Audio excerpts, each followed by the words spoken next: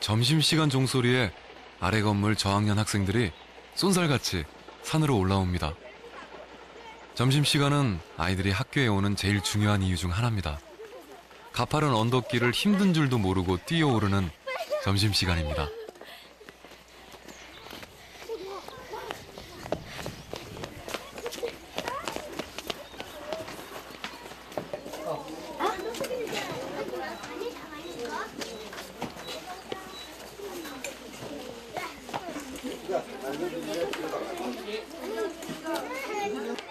밥 먹는 순서는 저학년부터입니다.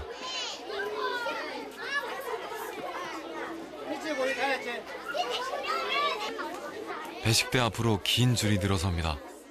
점심시간에 빠지는 학생은 한 명도 없습니다.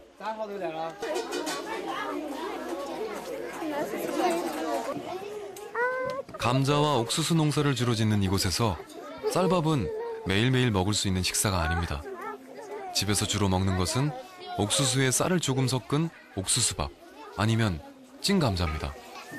그만큼 이곳에서 쌀밥은 귀한 음식이죠.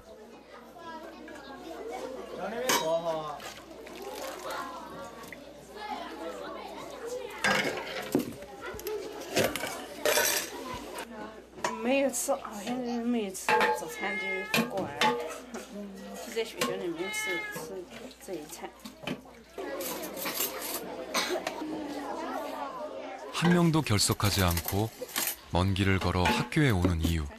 거기엔 이 쌀밥도 있습니다.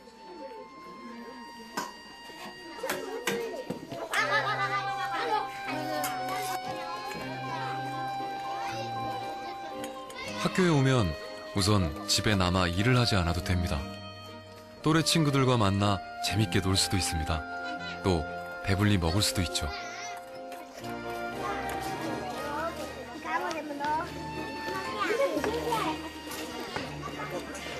이 아이들에겐 학교가 제일 행복한 곳이 될 수밖에 없습니다.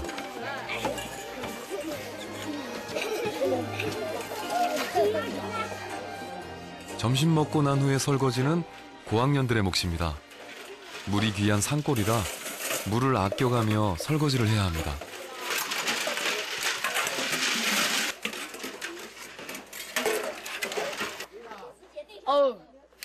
점심을 먹고 나면 30분 정도 놀이 시간이 있습니다.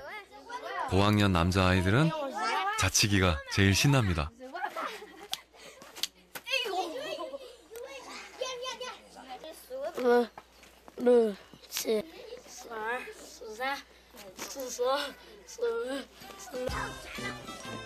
저학년 아이들은 종이 비행기를 접어 날리며 친구들과 어울립니다.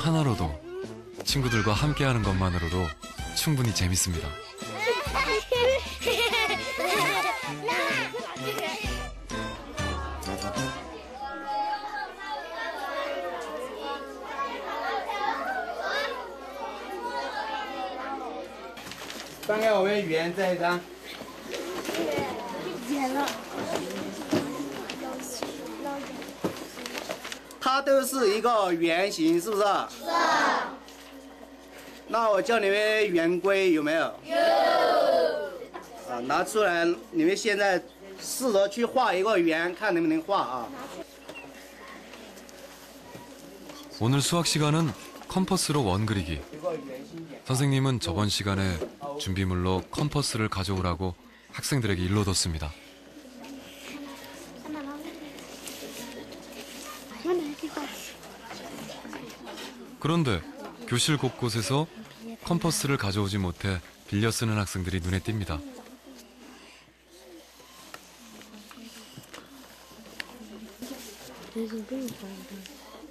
컴퍼스가 없는 학생들은 연필 두 개를 지지대로 이용해 원을 그립니다. 이렇게나 수업에 열심인 학생들이 왜 준비물은 챙겨오지 않았을까요?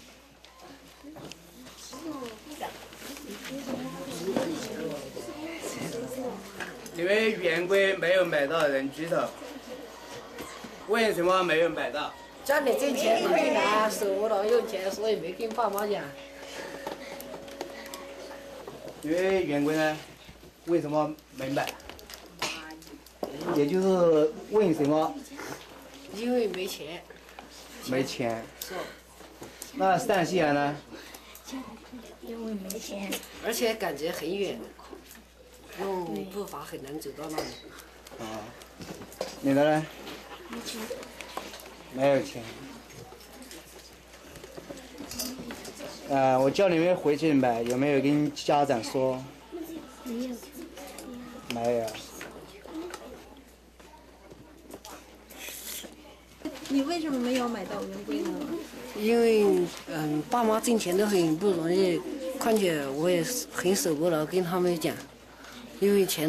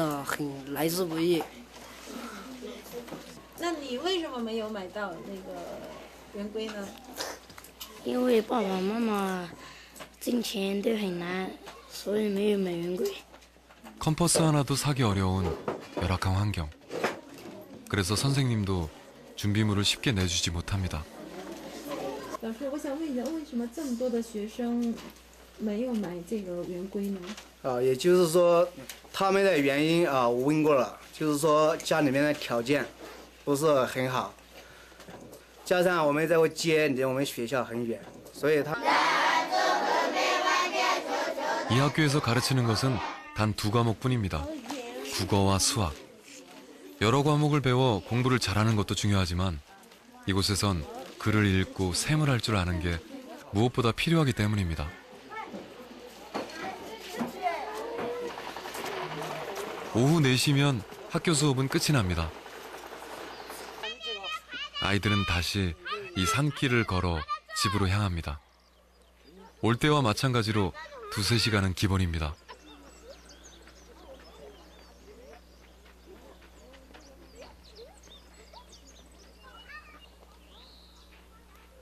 그래도 학교를 오가는 길엔 언제나 웃음입니다. 为什么会这么的努力，这么的辛苦的要上学呢？因为我我的梦想是走出大山，所以要向梦想出发。那父母都在这边，为什么你要走出这个大山呢？因为在这里父看着父母也很辛苦，而且做做的事又多，很累，所以要走出这里。 배운 게 없어 힘들게 살아야 하는 부모를 아이들은 어려서부터 봐왔습니다. 우리 부모님처럼 살고 싶지 않다. 그 생각이 이 험난한 산길을 걸으며 학교를 오가게 했습니다.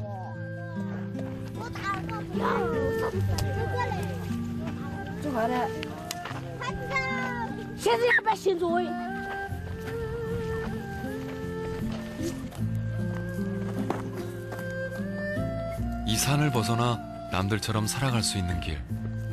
그것을 가능하게 하는 것은 배움뿐이라는 걸 아이들은 너무나 잘 알고 있습니다.